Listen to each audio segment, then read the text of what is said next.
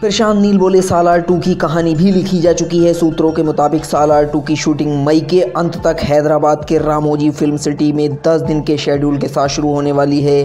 पिछले तीन महीनों में प्रशांत और उनके लेखकों की टीम ने पहले भाग के फीडबैक के आधार सालार टू की स्क्रिप्ट पर काम दोबारा शुरू किया है। पिछले साल दिसंबर में रिलीज़ हुई प्रशांत नील निर्देशक और प्रभास अभिनीत फ़िल्म सालार वन ने दुनिया भर में बॉक्स ऑफ़िस पर अच्छा कारोबार किया। फ़िल्मों को दो पार्ट में बनाने की बात प्रशांत पहले भी कह चुके हैं। चैनल पर अगर आप हमारे पहली बार आए हैं तो चैनल को सब्सक्राइब कर लें। वीडियो को लाइक भी ज़रूर कर लें। उन्होंने दैनिक जागरण के साथ बातचीत में बताया था कि सालार टू की भी कहानी लिखी जा चुकी है।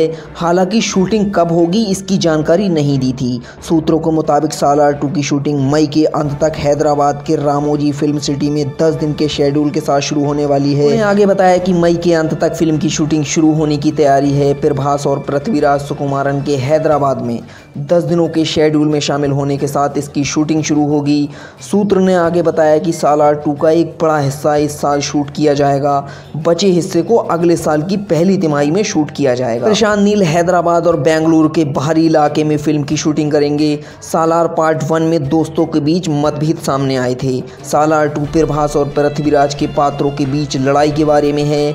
फ़िल्म में एक्शन भी काफ़ी देखने को मिलेगा। निर्माता फ़िल्म को अगले साल दिसंबर में रिलीज़ करने की योजना बना रहे हैं। सीक्वल के कुछ नए कलाकार भी नज़र आएँगे। उनकी कास्टिंग पर भी काम चल रहा है। सालार पार्ट टू आपको दिसंबर 2025 में देखने को मिल सकती है। तो आप सभी लोग सालार पार्ट टू के लिए कितने ज़्यादा एक्साइटेड हैं, अपनी राय कॉमेंट सेक्शन में ज़रूर बताएँ। इसी तरीके के अपडेट पाने के लिए हमारे चैनल को सब्सक्राइब कर लें। इंस्टाग्राम पर भी आप सभी लोग हमें फॉलो कर सकते हैं। लिंक डिस्क्रिप्शन में दिया हुआ है। मिलते हैं नेक्स्ट वीडियो में। जय हिंद।